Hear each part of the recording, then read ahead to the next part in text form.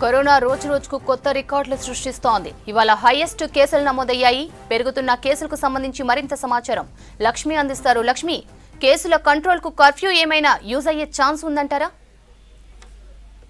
Right Sravanthi రోజు రోజుకి వెయ్యి వెయ్యి వరకు కేసులు పెరుగుతూ పోతున్నాయి. మొన్నటి వరకు మూడు వేల లోపు మూడు వేల క్రాస్ చేస్తుండగా లాస్ట్ వన్ వీక్లోనే ఆ రోజుకు వెయ్యి చొప్పున కేసులు పెరుగుతున్నట్లుగా చూస్తున్నాం. ఈ రోజు ఆరు వేల ఐదు వందల నలభై రెండు కేసులు రికార్డు స్థాయిలో నమోదయ్యాయి.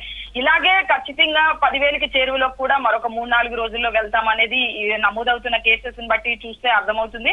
అయితే నైట్ కర్ఫ్యూ అనేది ఎంతవరకు ఉపయోగపడుతుంది అనేది కొంతవరకు క్వశ్చన్ మార్క్ ఒక టెన్ టు ట్వంటీ పర్సెంట్ కేసెస్ని తగ్గించగలదేమో గానీ పూర్తి స్థాయిలో కేసెస్ని మాత్రం ఖచ్చితంగా తగ్గించదు. ఎందుకంటే ఆ సిటీలో ముఖ్యంగా జిహెచ్ఎంసీ పరిధిలో కావచ్చు గ్రామాల్లో అయినా ఎక్కడైనా రాష్ట్ర వ్యాప్తంగా ఎక్కువ నైట్ టైంలో బయటకు వచ్చేది తక్కువగానే కనిపిస్తుంది. నైట్ టైంలో ఎక్కువగా ఆ రోడ్ల మీద ఉండేది మాత్రం హైదరాబాద్ పరిధిలోనే అలాగే సిటీస్లోనే చెప్పాలి. సో ఈ ఉండే వాళ్ళు కూడా ఒక ఫైవ్ టు సిక్స్ పర్సెంట్కి మించి ఎవరు కూడా రోడ్ల మీదకి ఎక్కువగా నైట్ రారు.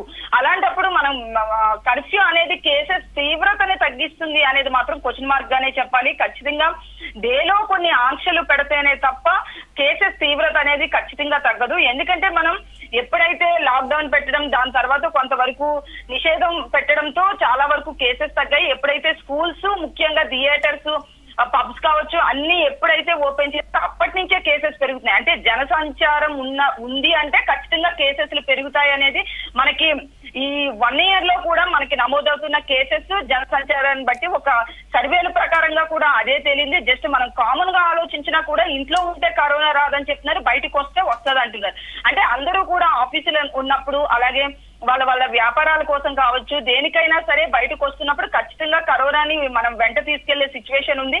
సో నైట్ కర్ఫ్యూ అనేది చాలా తక్కువ ఫలితాలను ఇస్తుంది. మహా అయితే టెన్ పర్సెంట్ మాత్రం కేసెస్ తగ్గిస్తుంది తప్ప అంతకు మించి తగ్గించడానికి లేదు. ఒకవేళ నిజంగా తగ్గింది అని మనకు అధికారికంగా ఫిగర్స్ చూపించినప్పటికీ ఒకవేళ చూపిస్తే కనుక అది ఖచ్చితంగా అవాస్తవం అనే మనం చెప్పాలి. ఎందుకంటే ఇప్పటికే రాష్ట్రంలో చాలా వరకు కేసెస్ తగ్గించి చూపిస్తున్నారు. మృతులు కూడా అట్లే చూపిస్తున్నారు కాబట్టి ఒకవేళ కర్ఫ్యూ వల్ల ఇంత ప్రభావం చూపించింది అని ఒకవేళ ఫిఫ్టీ పర్సెంట్ కేసెస్ తగ్గిస్తే మనం ఏం చేయలేం. కావాలని తగ్గిస్తే మనం ఏం చేయలేం కానీ తగ్గే అవకాశం మాత్రం ఎట్టి పరిస్థితుల్లో లేదు. ఎందుకంటే పబ్లిక్ వెళ్ళే వాళ్ళు కావచ్చు నైట్ టైం తిరిగే వాళ్ళు ఫైవ్ టు సిక్స్ పర్సెంట్. లేదు అంటే టెన్ పర్సెంట్ లోపల మాత్రమే ఉంటారు కాబట్టి మొత్తానికైతే ఇలాగే కేసులు ఖచ్చితంగా పెరుగుతాయి. మే ఎండింగ్ జూన్ వరకు అయితే మాత్రం ఖచ్చితంగా ఇదే తీవ్రతలో కేసులు నమోదయ్యే అవకాశం ఉంది. జనం మాత్రం కేర్ తీసుకోవాలి. అత్యవసరం అయితేనే బయటికి రావడం. అలాగే ఫస్ట్ నుంచి మనకు ఒక ఆయుధం మాత్రం మాస్క్ అని తెలుస్తుంది.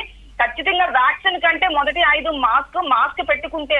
ఎందుకంటే వ్యాక్సిన్ వేసుకున్నా కూడా కొన్ని చోట్ల కరోనా వస్తుంది కాబట్టి మాస్కే ఫస్ట్ ఆయుధం బయటకు అత్యవసరమైన వచ్చిన ఆఫీస్లో కూర్చున్నప్పుడు కావచ్చు. చాలా మంది ఒక ఇక్కడ ఒక విషయం అయితే చెప్పొచ్చు. అన్ని ఆఫీసులు ఓపెన్ చేసిన నేపథ్యం నేపథ్యంలో ఆఫీస్లో ఉంటే కరోనా రాదు అనే ఒక అపోహలో ఉన్నారు.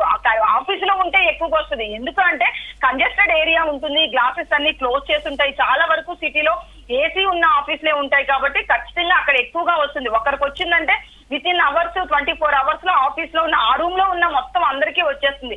సో దీన్ని బట్టే అర్థమవుతుంది. ఖచ్చితంగా కేర్ తీసుకోవాల్సింది జనం. ఎందుకంటే ప్రభుత్వం చేసుకోవాలి ప్రభుత్వం ఇన్ఫ్రాస్ట్రక్చర్ కావచ్చు మెడికల్ ఎక్విప్మెంట్ ఇవన్నీ సమకూర్చాల్సిన బాధ్యత అత్యధికంగా ఉంది.